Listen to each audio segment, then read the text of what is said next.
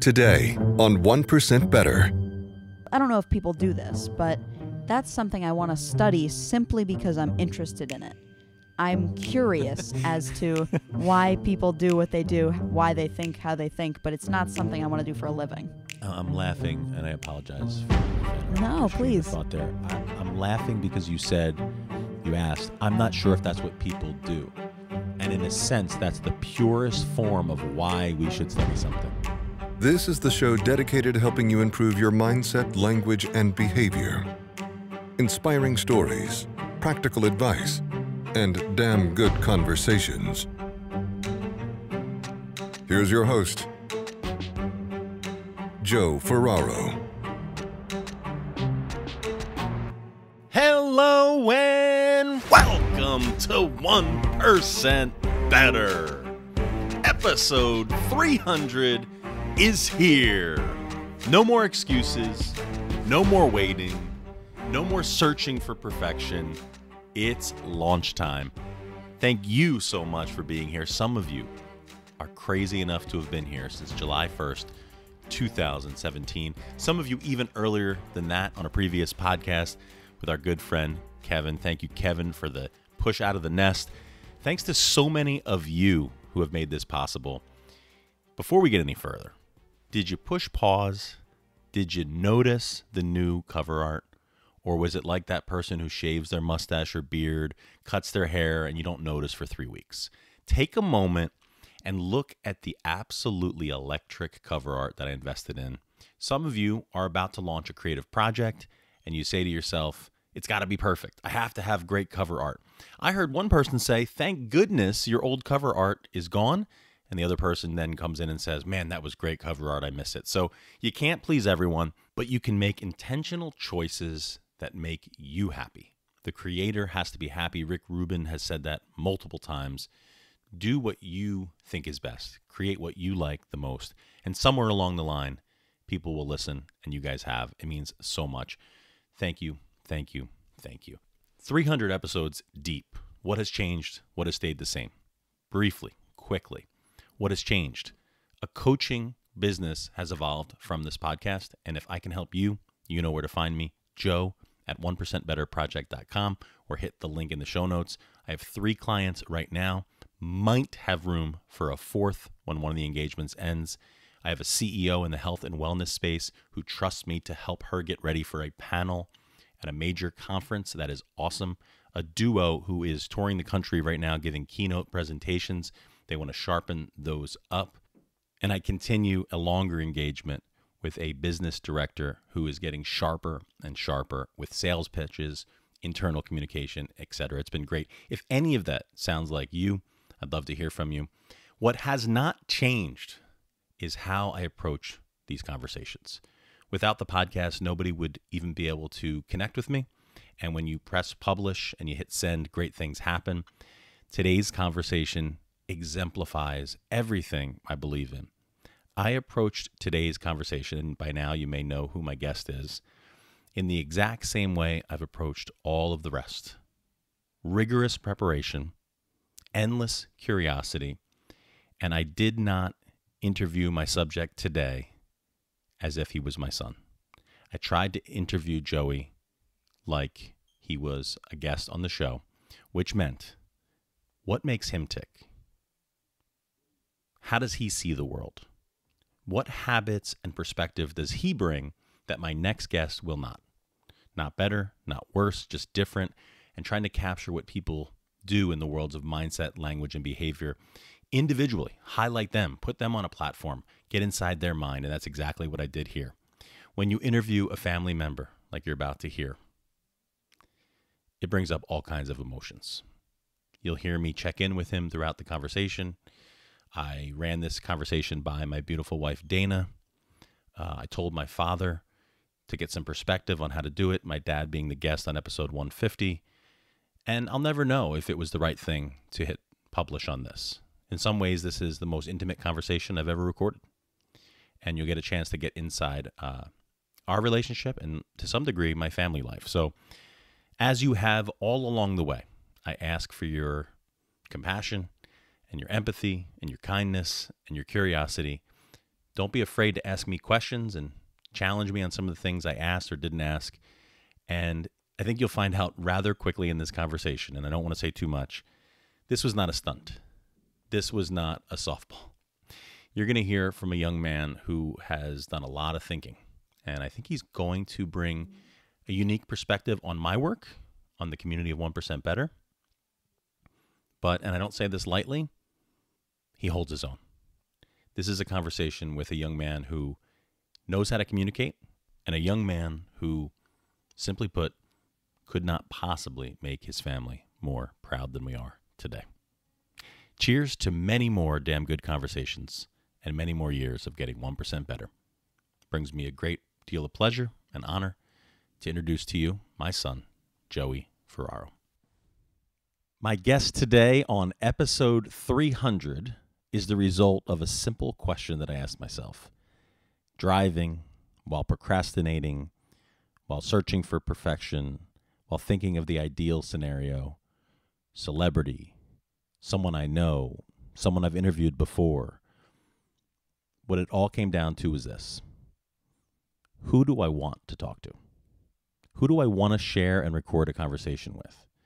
Who is someone that every time I have a conversation with them, it brings me joy? And when I asked those questions, it was like this an unlock.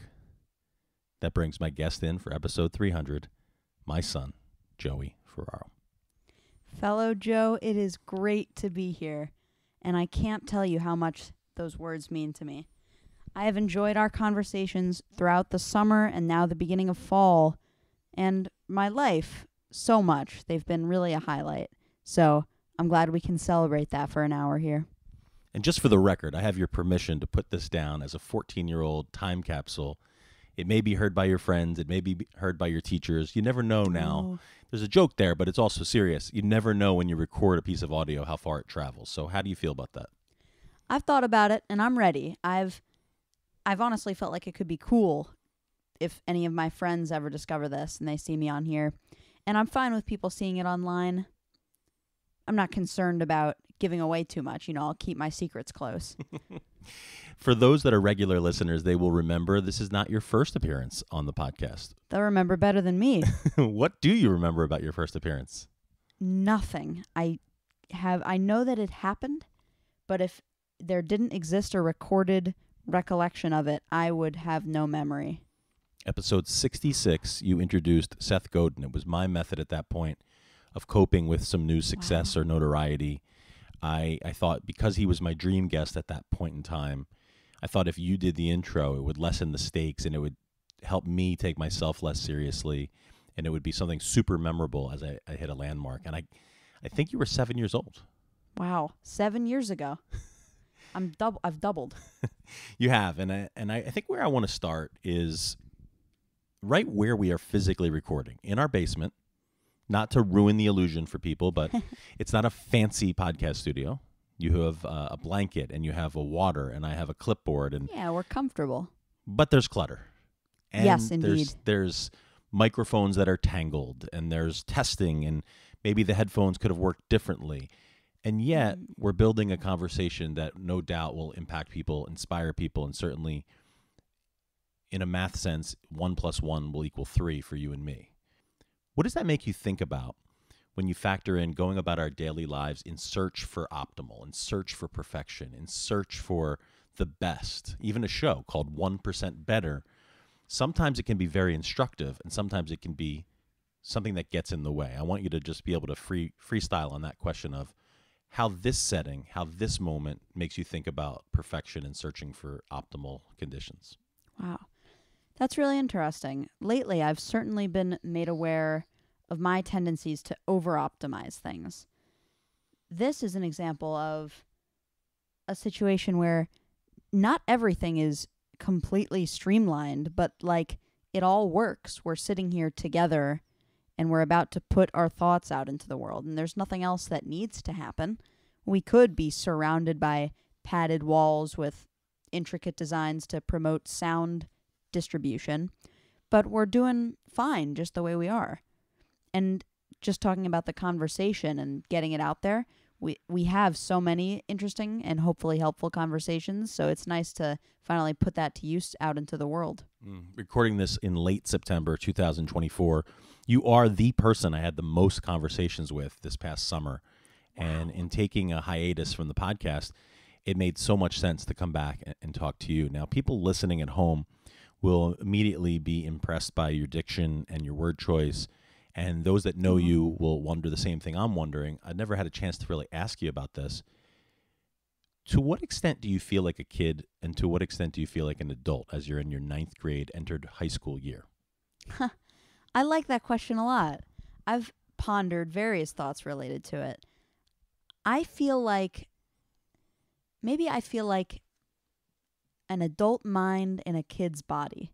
I don't want to be presumptuous, like tooting my own horn, but I have a lot of adult like tendencies. I I enjoy talking to adults very much. I enjoy spending time with them and I don't always crave the the things that other kids enjoy versus what adults might enjoy. I this is tough. What, where do you trace your origin story when you think back to that happening? Where, where, where does that come from? Man. That's a great question. I'm going to say it could have something to do with the amount of time I spend with my family and enjoy it. I've come to just possibly take on some of the things that you and our mom and my mom likes. Also, I've done a lot of inside thinking. I've I've thought a lot about myself. I've thought about my thoughts. A lot of I think it's introspective. Just kind of considering like what my needs, my wants, my likes, my dislikes. I do a lot of considering like that. And I guess when you think about it that much, you start to go against some norms. You start to fall out of traditional categories of perhaps more kid like. And what would your reaction be if someone told you that's not what the typical 14 year old does? I wouldn't be surprised. In fact, I, I know pretty much already. A lot of the things I do, my buddy, I wouldn't call up. I don't, my friend, I wouldn't call up and find them doing the same. But that doesn't bother me at all. We sh- I don't think we should judge what we do based on what is done. Yeah, but conformity is a very real thing in the teenage years. Being different can be perceived as weird, and some of the things you do are incredibly positive for the local community, the family community, maybe even through a Mm-hmm. conversation like this, a community at large. But it's it's far from the norm. Um, and sometimes I look at myself, and perhaps this is where uh, where I'm, I'm thinking about as a parental figure, and also what I would call a friend and a mentor, and certainly a mentee to some degree from you. I would think about my role in who you've become so far, nature versus nurture on a daily basis, where you've listened to so many of my ideas. Um, I, I guess I'm worried sometimes, and not looking for anything but honesty. Like, do you think that at some places I've pushed too far in one direction for you to think a certain way, or I just want to be mindful of who your identity is, not trying to be close to my identity? Dang, that's certainly important, individuality. But I've never felt forced to think about these things. It's not, I don't think it's as though you're imposing a personality on me. Someone says Joey's a mini me. Is that is that if someone if someone says that, what would your reaction be? I have heard it. Wow. Well, I've heard it in, I've heard it as well in like looks comparison. I've never thought about it in personality. I honestly would be flattered because you're an individual that I love to spend time with and I enjoy who you are and I enjoy how we've shaped each other. Hmm. That said, I don't believe that my interests have come solely from the influence that you've had on me. I guess that's refreshing because if I were to look back to a 20 year old Joe Ferraro, I would have said. My son's going to be a future baseball player. That was my obsession. I played Division One baseball. I went as far as I could. I thought about it all the time. All the ways that I try to help people with communication, I thought about getting edges in baseball and then in baseball coaching. and then you played baseball for I think two yeah, and a I did not take on that hobby. I remember distinctly sitting in the drive-through of a Dunkin' Donuts, and you asked me if I wanted to. I was maybe five, six, maybe younger. You asked me if I wanted to play another season of Little League, and I responded, "Sure, why not?" And I remember regretting it throughout the season. How quickly did you regret it after saying it as you were about to get a bagel? Probably my next game. I didn't really think about it until then. I know for sure you didn't play beyond seven years old, but my Mm. memory story is somewhere between five and seven. And I never knew. Did we start you too early, or was the game just not for you? Did you ever give that any thought? Hmm. No, I've never. And I wonder what would have happened if you waited. If anything, you need to start early to cultivate a certain love for it. Like if I was going to get to a 4 out of 4 on baseball, I needed to have the groundwork. But it just didn't take hold. So I don't think it would have taken hold better if we waited. And people who know me best, they'll, they'll say, "Oh, is it your, if they've lost touch or something with me, they'll say, "Did your son play baseball?" I said, "No, he played for a little while. He's into other things." And I hmm. can honestly say, that's probably been one of the biggest blessings of our relationship. Blessings, how so? Your your grandfather, who was the guest on episode 150, we bonded through food and baseball. Right? We had basically two things that Mm. you know comprised all of our conversations. For for parlor game purposes and fun, here's some of the things you and I have talked about. Uh, I'll go one, you go one. So we've talked about food, Okay. We've talked about psychology of people. logical fallacies, That's a great one. Tomato growing. traveling. You're quicker than I am. Well, I've thought about this a long time. Aw. I can go on. Uh, we we try to optimize how to make a steak on the grill, Mm-hmm. which is still if that fell food. food. It does, yeah. I guess broad categories, but I guess the more important thing than the categories is possibly the depth and breadth. I never know what that word means with the D. Interesting. Yeah. that we go into D. things. So, like when we made pork chops the other day on the grill, we were using a technique that you and I had studied Mhm. about how to get more my maillard on it. I don't maillard. I don't know. how to s- Maillard, I believe. Yeah. But we're the- up to interpretation. that caramelization on there. Like we talked Yeah, at that level crust. depth. We we would we would talk about the hot hand fallacy and and then try to connect it to Charlie's soccer streaks. oh my gosh. And there's probably a hundred other things we've talked about. I mean, maybe they fall into 100%. a few buckets. Yeah. Um, the intricacies are hard to list. but then you've gone on your own. You you've done something to a degree at 14 years old that that I've never done, which is baking. And at the time of this conversation, that seemed to have your imagination. You went from a lot of animation, a lot of drawing to something that you still do, at least from Mm-hmm. my vantage point. But it's the baking that has really captured you and who you are today. Would would that be a fair comparison? That's yes, that has most certainly encapsulated my interest and activities over the last few months of my life. And what is it for people who everyone listening has baked something, but you have taken on another life of its own, in my view? Mm-hmm. What is it about baking that has captured your imagination? Well, I think the gateway here for a lot of us bakers are I love desserts. I really love celebrating with sweet treats that were made m- meticulously with love and creativity in every bite, I suppose. And I wanted to figure out how to make the things that I love on my own.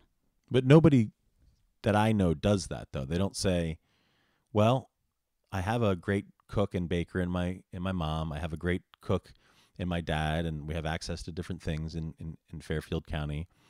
But in, instead, I'm going to dive in, and then you've you've read books about it, you've read mm-hmm. articles about it, you've researched how to make the best chocolate chip cookie. That that will sound familiar to people who know me, and it will almost sound like a lot of my traits, but represented in baking. And I don't want it to Wow. represent me. I want it to represent you. And I think I there's never thought, no offense, I never thought about it as representing you. yeah, that's good. That's Mhm. that's what I want. I mean, obviously, early in this conversation, I feel like I'm I'm trying to defend myself to to allow you to have y- your own identity. But it's just I'm looking across from you and looking at someone who mom and I are just incredibly proud of. And a lot of times, people will will see some of your behaviors or traits and think that it's surreal or something that is very atypical. And I wonder to what extent you're aware of that. I'm certainly aware of it. I don't I wouldn't say it goes as far as we might be making it out to be, but I also think I'm in a good generation to have different interests. Meaning, We've done a, we've the world has come a lot of a long way with the word weird and unique and different.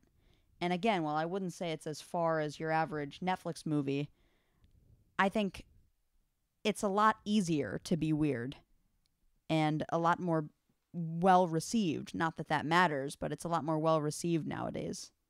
and just for people specifically, talk about your latest uh, chocolate chip update. Ooh. Can we move back a little before I explain the intricacies? Sure. I'll go into more the why of what brought me here. I, it started with cooking because I love food as well. I love almost as, as much as I love desserts. You can't really ask me to pick a pick one, cooking or baking. So I started experimenting in the kitchen, and that's just what it is about both of them, baking and cooking. So much experimentation. Not only do you get an insane destination, you arrive at something you curated to exactly your liking and you can make it taste and feel however you would like it best and share it with people too. The destination is insanely enjoyable. The journey too. It's the experimentation that's more than if not half the fun. Cooking is experimentation in that it's all feel. I've heard you use that phrase to describe it, and I completely agree. Baking, though, is a slightly more regimented experiment. If you needed more salt in the in the paella, you can't really go jot that down in a notepad while you're sautéing the steaming pan of rice and seafood in front of you.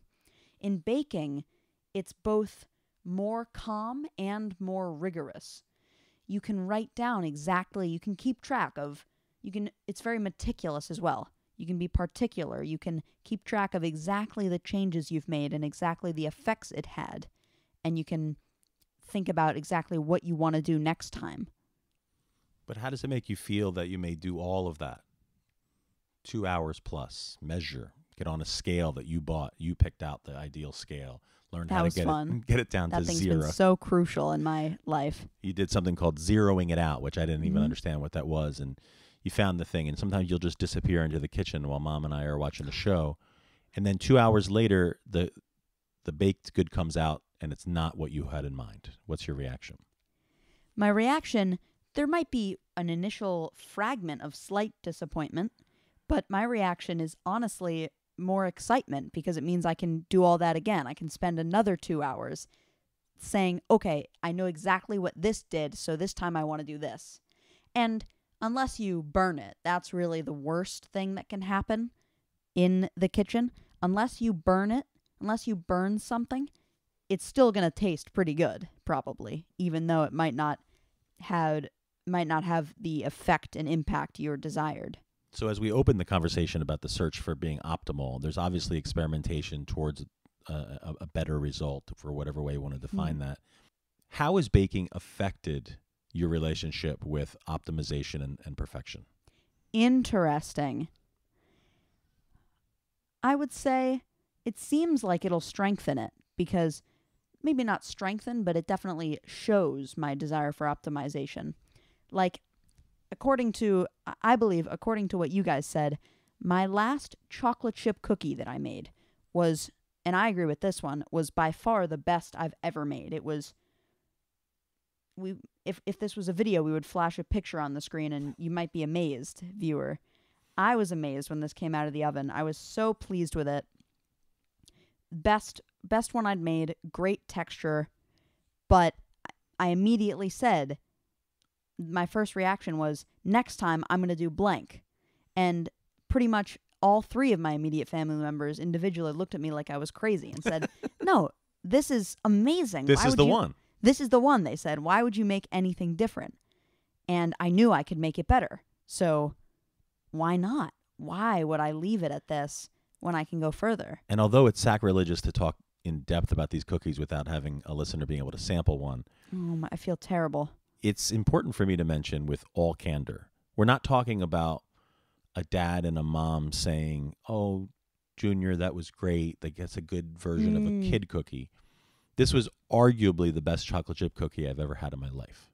Wow. and, I and- really appreciate that clarification. yeah because I think people would would we, father son well you did good the drawing's nice like this is something where you've craved honest feedback it's actually to a Yeah. point people should know this you've asked for honesty from me in various aspects of your life in ways that have actually made me uncomfortable Wow. I've had to push through my own limits of whether it's kindness or candor or being a parent versus being an evaluator in that role. You're asking me at Mm. times, you have numerous times to put on an evaluator hat, which which people listening might not be comfortable with, or maybe they'll be more comfortable with. I I, I don't know if you've ever picked up on that, but then when you you know the the cookie is kind of a metaphor, right? Like Mm. we you made cookies last night and they were oatmeal. Basically, they Yeah, were I- a I Starbucks. uh, what is it? Chai teas, latte, uh, fall, whatever in a in a cookie. I called them oatmeal spice. I wanted to make an oatmeal cookie, but oatmeal raisin I feel like would not be very well received in my house, even though I am kind of intrigued with it. So I threw in a bunch of fall spices that I thought of, and it turned out really great. for, for people who like those. So you put me in a Yes, position last night where you were like, "How is this?" And I was just trying to be honest. And something you've helped me get grow at is, you know, the difference between truth and honesty and candor, and the idea that it's Mm-hmm. my experience that doesn't make it true. So I said, I don't enjoy these flavors. I don't want Yeah. a Starbucks. I'm still searching for the right Pumpkin term, but spice latte. bingo. that was what it tasted like in a cookie. And I knew going in that that wasn't your favorite flavor profile, but and I hate saying things like this, no offense, but the goal wasn't to make your perfect cookie. It wasn't the goal wasn't to make a cookie that you'd enjoy. It was to make an enjoyable cookie. Yeah, and I think listeners can pull out all kinds of beautiful lessons there. I want to talk briefly about praise and criticism. Um, It's an idea I think quite a lot about, whether it's with my students or with my children or myself, quite frankly.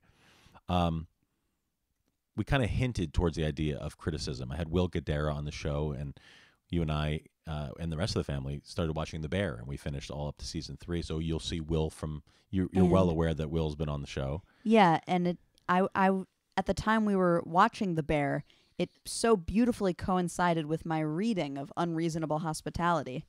And when I saw Will, there was so many layers of remembering him. First, he was on your show, then he was in the book I was reading, and then he was in the show we were watching together. But why did you read Un- Unreasonable Hospitality? Well, that was part of my search for food books. But even before slash around when my experimentation with baking first started, I was I am still really I was really searching for books on it. I wanted to learn but not recipe books. Recipes are not what I needed or nor wanted. I wanted to find out why adding more flour does gives you a, a thicker, drier cookie.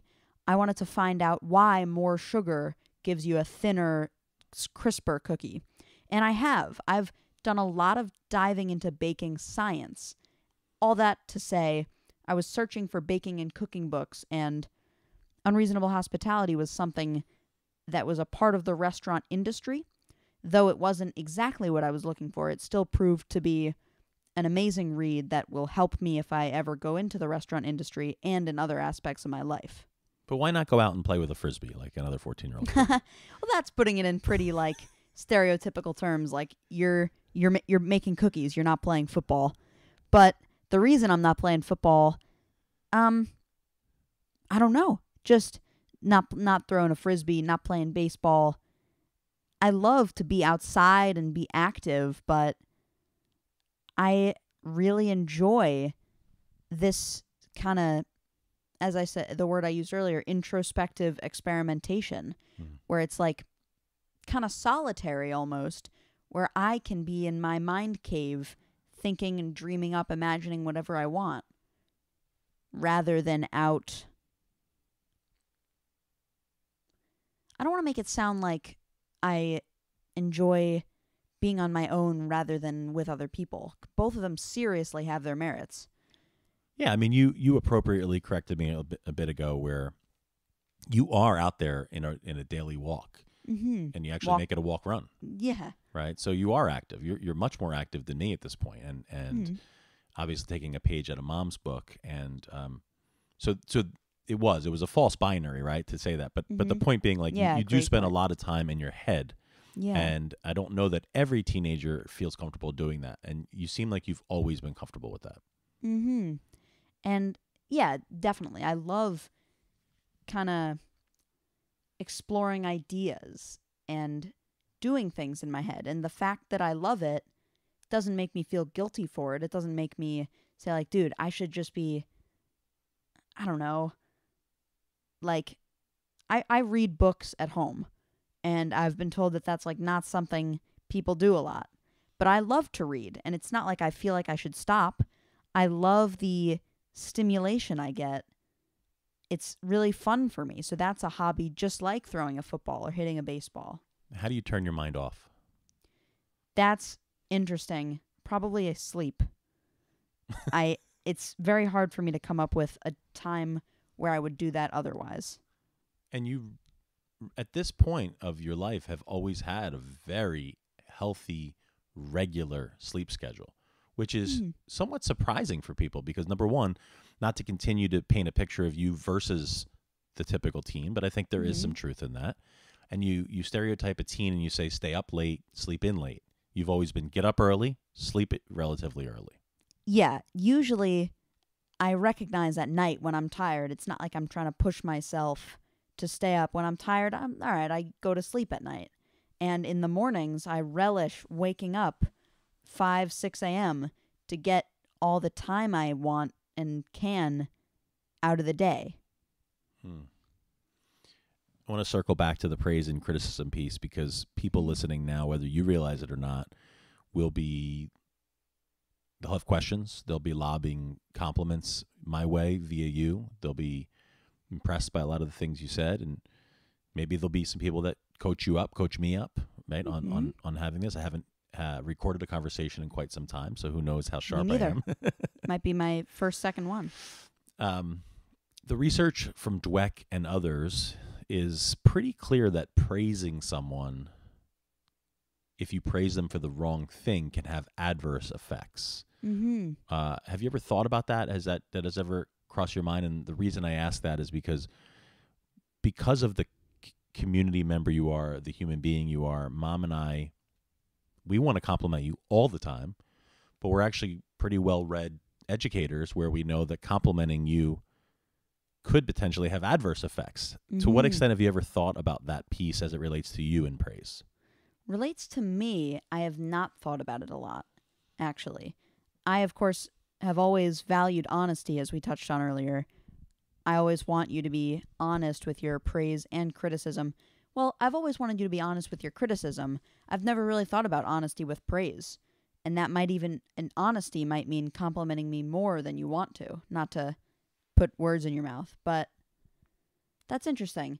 I think about it with other people a lot. Like, the psychology of praise and criticism. I've heard that I I believe it came from Will Guidara, but I'm familiar with the phrase. I think it's praise is affirmation, criticism is an investment. Mm. And I think about like the psychology of them both a lot with other people even. I try to employ little tax- tactics like if my friend's doing something that he thinks is really funny and I don't happen to enjoy it, I like look off to the side. I I try and like almost pointedly not show praise. So maybe they mentally say, "Oh, wait a minute. That's not getting a reaction. I should do something else." So using the Guidara principle, the praise and, and, and criticism matrix, how have mom and dad done for you in terms of managing that? Wow. This is a hard question. It's like asking It's like yeah, asking the praisee to think outward rather than the praiser to think about the ones giving it. Never seen it considered from this perspective. I'll add a little color while you while you ponder it. Um, a very simple thing for me to say is, and anyone listening could say the same thing. Joey, you're so smart, hmm. right? You have good grades in school. You have a good vocabulary. You are every bit as well spoken as most guests I've had on in 300 episodes. Praising your intelligence is praising your nature and something that you were Mhm. quote unquote given by God, by parents, by genes, by whatever. hmm it would really, according to the research, and I believe this, it would then strike down the amount of work you've put in in 14 years, the actual reading that you've done. You've read more books in 14 years than most people that I know. You've thought more than any teenager I know. So that's kind of what I'm interested in is this idea that like I never want to say, "Oh, my son is smart. My son is." I, I have no problem saying my son is kind, but I wouldn't be lazy and say he's smart because it doesn't cover that processes that you've put into place. If that makes sense. Interesting. That's a testament to wording being important, I guess, because there are differences maybe with like smart and wise and intelligent. So, I I definitely I love to be praised. Of I mean, like scratch that. Hmm. who Everyone does, but I appreciate a good compliment. That doesn't mean it's tough to say this because it's like I don't want to renounce compliments because I do like them, but I definitely don't want to be complimented to the point where it's watered down. It's tough to do actually do this, but I, I want to be complimented to the point where it's still special, but I still know that I'm appreciated if I'm appreciated. One of the things you do so much of is be thoughtful. Mm. Uh, a week ago, I helped uh, your grandparents just get around a little bit at a soccer game. And then later that day, you told me, hey, you know you're a good son in law, right? I remember. That's not. That's not a typical behavior, right? Even Mhm. even if a typical teen would think that they to take to go the extra mile and either text it to me, which you've done many times, or pull me aside and say that. Where does that come from? this kind of goes hand in hand with my I'll go back a sec.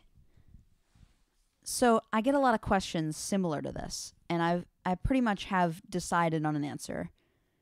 I love to feel good. I've been lucky with a lot of people in my life that make me feel really good about who I am, how I am, and even just like I enjoy time with them and and so I want to do and so in life I try to do everything I can to give others that same experience. I love to feel happy, so why wouldn't I try and gift it to someone else? And what are some of the ways that you frequently try to give that happiness to others?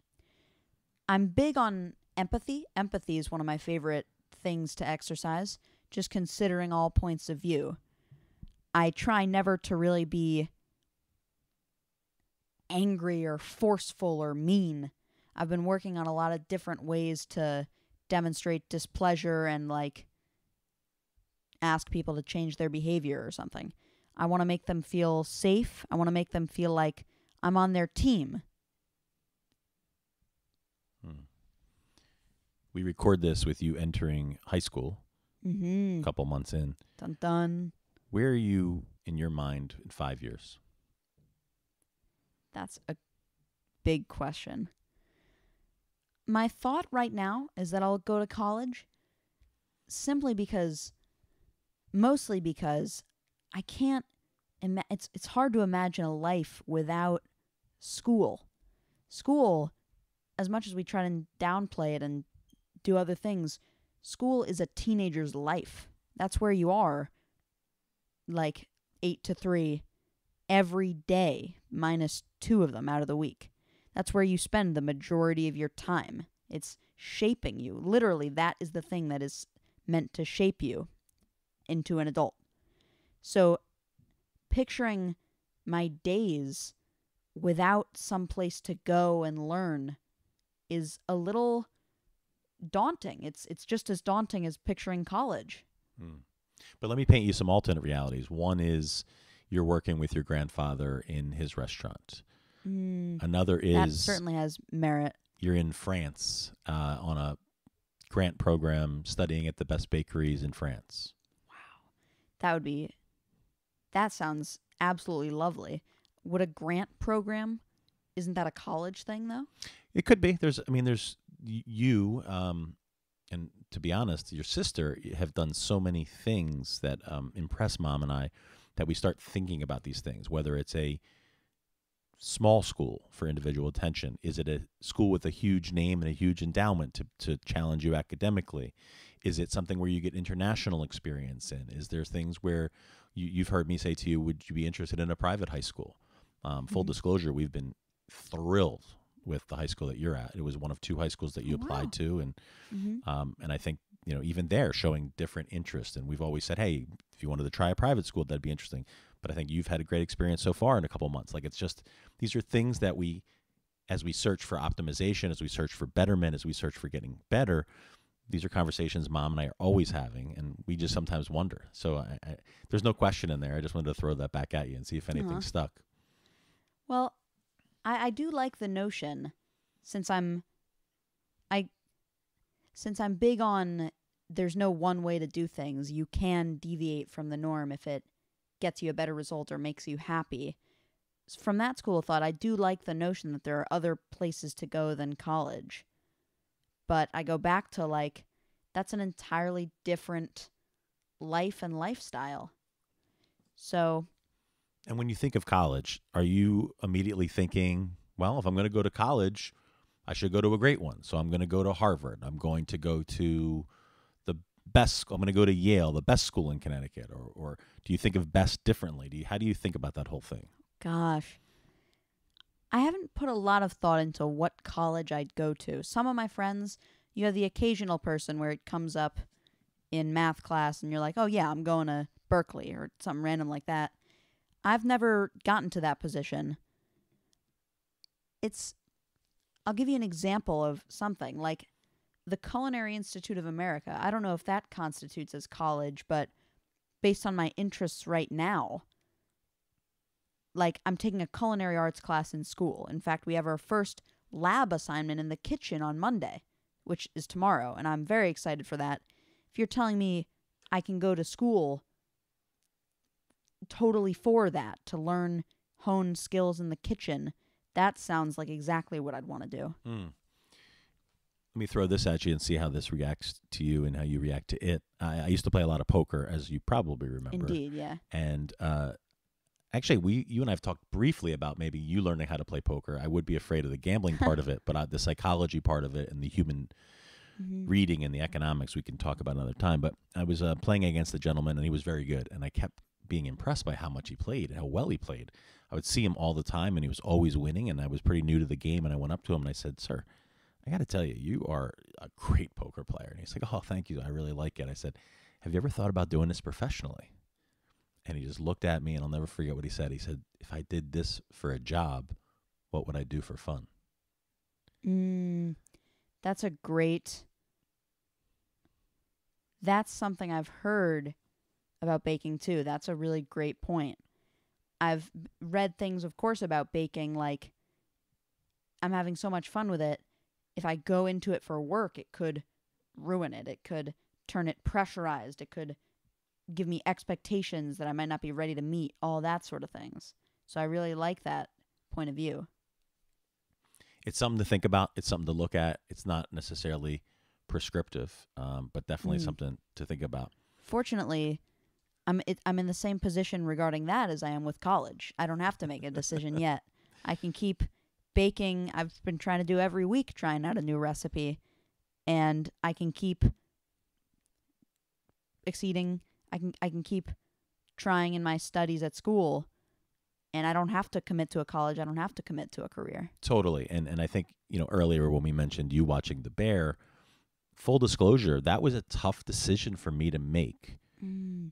to quote unquote allow you to watch The Bear. Now some people will say, well, he's going to find it on his own, but that's not really your personality type. You have never been at least to my mind, unless you want to break news here, a rebel. you haven't been someone doing things below board. Everything you've done has been in a, in a candid conversation with us. Hmm.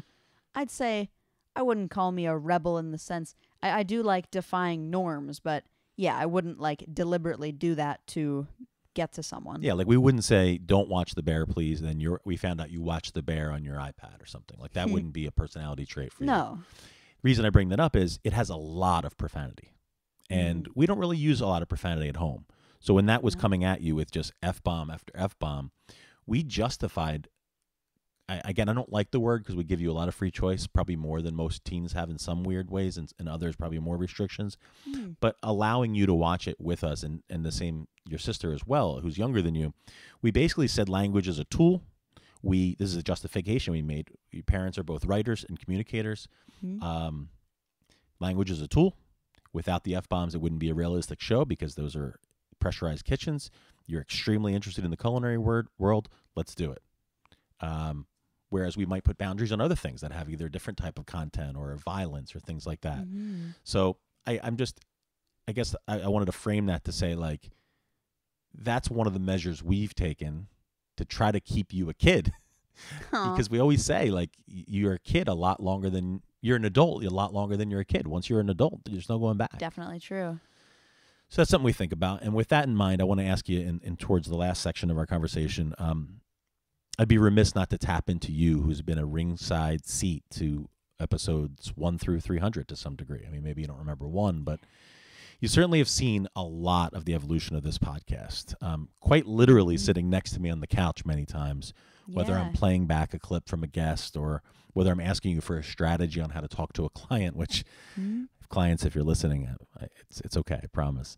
Um, I would hope you could trust me. what's your broad level view of what you've seen from your father as I've tried to approach this project, passion, business, whatever you, you may have?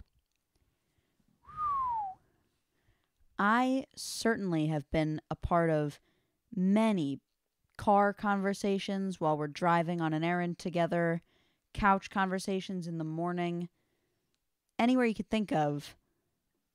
I I just I remember you discussing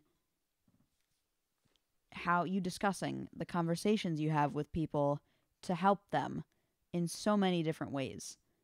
That's around what you do. You help people through conversations, whether it be literally improving their skills at them or giving them a damn good one to enjoy and to make them think about something. And you yourself get some out of it too. You get a nice conversation where you can think about whatever your guest tells you. Hmm. I appreciate that. How many times have you thought to yourself, man, this is a lot of work. I wish he would take some time off. Uh, I wish he would spend more time with me and my, my sister. Uh, can't we not do another podcast? Does it always have to be Joey podcast? How often is that type of Meaning you, Joey Podcast, not me, Joey Podcast. Exactly. How often has that line of thinking crossed your mind? Wow. Well, not not to the extent, not to a not to a high extent, but there certainly have been times in my life where I'm coming downstairs or I've been downstairs from bed and I'm ready for you to get down so we can crank into some cooking videos on the TV or learn a new topic or I can tell you about my latest cookie endeavor and you come down and get seated with your laptop on your latest consulting work and it's like, dang. But I definitely don't feel neglected. We've always had time together and it manifests itself manifests itself in lots of different ways. So, Yeah, I appreciate that. I, I, I think people listening, sometimes one of my, whether it's skills or approaches to conversation, is to try to anticipate what somebody listening would want to know. That's one of my Mm. question asking frameworks. So I think at this moment, I'm I'm compelled to ask: Would you ever consider going into the podcast work? I would say no. It's it's like you've asked me the same question about teaching, which is another thing you do. I I have never felt I've I've been watching you and I'm I'm- I'm impressed with the amount of sheer initiative you've taken and effort you've put in to help all these people and further your productivity and business and all that. And with teaching, I so admire the impact you're having on students. But neither one have I felt I would love this. I want this to be my life. Nothing about that has said it to me, and that's fine. I'm I'm glad that they have for you. It, so we played the over/under game this summer, like trying to get into Mm. gambling light, if you will. Like we're just like human predictions, where it's like, will I eat will I eat more than one and a half burritos on the trip to San Diego, and kind of introducing concepts like that. Um, so if you were gambling on your future right now, you would bet that you would do what as a living? That's a loaded one. I have a lot of pauses here after you asking me questions. You're just so good. I gotta takes me a second to process. I, I uh, when I started this journey, people would say, you know, should we edit out the pauses? And I don't know if you remember this specifically, but I I left in Mitch Albom pausing for eight seconds after I asked him a question, and I Wow. never edited. I was tempted to because eight seconds. I mean, let's do three seconds of silence just to show people how long three seconds is. Eight seconds of Mitch Albom, and he's one of the smartest writers in the world. So you get that mm-hmm. idea that like it's it's a sign of a good question. Yeah, I kind of like that you leave them in. Maybe not every time, but I like that little testament to your strength. That being said, are you saying I'm a baker if I if I had to predict right now? I would say food. I would say food writer. I would honestly say that I would write about, I would try different baked goods. Maybe I would write about the things that I'm making or about other or about the other people's creations, both kind of interspersed with cooking and baking worlds, sweet and savory. I've also heard you talk about psychology. Yeah, that's something I I want to study. Simply, I don't know if people do this, but that's something I want to study simply because I'm interested in it. I'm curious as to why people do what they do, why they think how they think, but it's not something I want to do for a living. Uh, I'm laughing, and I apologize for if I interrupted No, your please. thought there. I, I'm laughing because you said, you asked, I'm not sure if that's what people do, and in a sense, that's the purest form of why we should study something, right? If you Mm. think about it, Will, uh, William Deresiewicz, early into the podcast journey, he had this long conversation about what is college for, and it, it, he ultimately comes down to he thinks it's number one to to teach you how to think, to give you the space and conditions and tools to think. That's what he thinks college is for, and we can go back and forth. Sounds very important. Yeah, but if you think about it, like you said, and I, and I'll have to go back and rewind that and, and pull that clip, but like I don't know if this is what people do, but I want to study it because I'm interested. There's nothing more pure, and with someone with your rigor that you apply to it, that's to me that's what mom and I want for you, right? To find something you genuinely enjoy, and never one time say, "I hope I can make money in this." Anyone listening to this will basically agree that you pick something and you do the Joey way towards it, and that's going to lead to success, or you're going to pivot, or you're going to Mhm. redefine success. And I, I know that is in your future, whatever it is. Man, thank you. Is there a guest uh, on the podcast that you would like to meet? Someone that I've interviewed, um, that you've watched and admire. That you, if I could put you in touch with them, you would love to talk to them. Interesting. I usually balk at these, for lack of a better word, balk at these kind of questions because although I may admire someone, that doesn't necessarily mean that I want to have a conversation with them. Like, I like their work. Will Guidara comes to mind because he's someone whose content I've enjoyed and both content and his insights. But I couldn't think of a reason I'd need to sit down with him. I, I love that because that's precisely how I view the podcast. I say, I enjoy this person's work and I want to have a conversation with them. And you said that Mhm. the opposite is more often true for you. Yeah. That, that's not a bad thing. Maybe that coincides with why I'm not thinking of going into the podcast industry. Hmm. So we've talked about the future. We've looked ahead, and, and sometimes that's healthy, and sometimes it's not. But I want to want to close with us in the present. Uh, We're Mm. here, arm in arm, on the couch, looking at a beautiful house that we help maintain and enjoy, and to really just get the best out of. I don't know if this is supposed to be on the air, but we do happen to be in the basement, the most cluttered area, and yet it's still beautiful. Yeah, for another conversation, there's probably some talk about clutter and minimalism and, and indulgence and luxuries and, and just truly just, if I'm being honest, just privilege that we do have. There are people more privileged than us, and certainly, certainly many, many people less privileged than us. And I think we appreciate that. I, I know I tell you I love you every single day. I want to tell you on the Mhm. air. Yeah, despite all this stuff, the most privileged we are is having each other. Yeah. And we really have fun. We we do a lot of things Yeah. Together. We bring your sister into the mix. Mommy, who I've nicknamed the architect, is always leading the way with her vision for where we should go. Don't I know it? And uh, I want to close with with ninth grade. You are a, a high school student.